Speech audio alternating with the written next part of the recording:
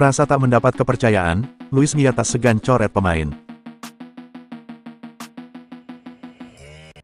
Pelatih Persib Bandung, yakni Luis Mia, mengaku tidak mendapat kepercayaan dari anak asuhnya.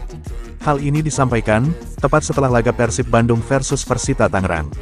Dan pada kesempatan itu, Persib Bandung secara mengejutkan tumbang di tangan Persita. Tim berjuluk pendekar Cisadane itu, mampu mempermalukan Persib Bandung dengan skor telak 4-0. Setelah pertandingan, rasa kecewa tak bisa disembunyikan oleh Luis Mia. Pelatih asal Spanyol itu menilai, bahwa pemain Persib tak percaya kepadanya di laga tersebut. Luis Mia pun merasa bingung, dengan apa yang terjadi. Hari ini, saya rasa pemain tidak percaya kepada saya, karena hasil dan sikap mereka seperti ini. Saya tidak mengerti, dan ini harus dianalisis ketika musim berakhir, kata Luis Mia. Luis Mia juga menjelaskan, bahwa akan ada evaluasi besar dalam beberapa waktu ke depan. Adapun tepatnya, yaitu setelah menjalani laga terakhir di Liga 1 musim ini. Seperti diketahui, Persib Bandung harus bertemu dengan Persikabo 1973 pada laga terakhirnya di Liga 1.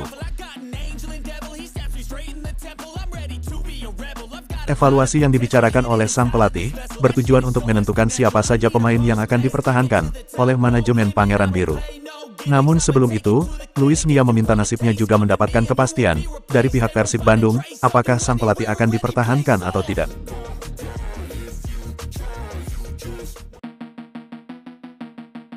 Kontrak bersama Persib Bandung akan selesai, Hen-Hen Herdiana diminati tiga klub. Wingback kanan milik Persib Bandung, yakni Hen-Hen Herdiana, dikabarkan akan bergabung dengan Bali United pada kompetisi musim depan. Rumor Hen-Hen Herdiana yang diminati oleh Bali United, dikabarkan oleh akun Instagram Bursa Transfer Sepak Bola Indonesia, yaitu Gosip Bola. Rumor ini tengah ramai dibicarakan, mengingat sang pemain akan habis kontrak di Persib Bandung. Dilansir dari berbagai sumber, bukan hanya Bali United yang dikabarkan tertarik untuk mendatangkan Hen-Hen Herdiana. Pemain seharga 3,4 miliar milik Maung Bandung itu, ternyata juga diminati oleh Persik Kediri dan Dewa United. Kurangnya keterlibatan bermain di akhir musim ini, juga disinyalir menjadi alasan, bagi sang pemain untuk hengkang. Seperti diketahui, Hen-Hen Herdiana bersama Persib Bandung, telah mencatatkan 20 penampilan dengan membubuhkan satu gol dan 5 assist di Liga 1 musim ini. Kontrak Hen-Hen Herdiana bersama Persib Bandung, akan habis pada akhir musim ini. Akankah pemain berusia 27 tahun itu pindah ke klub lain, pada kompetisi musim depan? Jelang kompetisi musim depan, Ciro Alvis mulai dikaitkan dengan Persis Solo. Winger Persib Bandung asal Brasil kini mulai dikaitkan dengan klub lain, menjelang kompetisi Liga 1 berakhir.